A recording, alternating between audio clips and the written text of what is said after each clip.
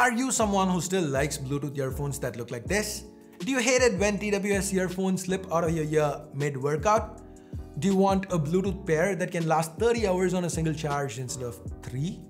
If the answer to these questions is yes, the Bullets Wireless Z2 might be your best friend.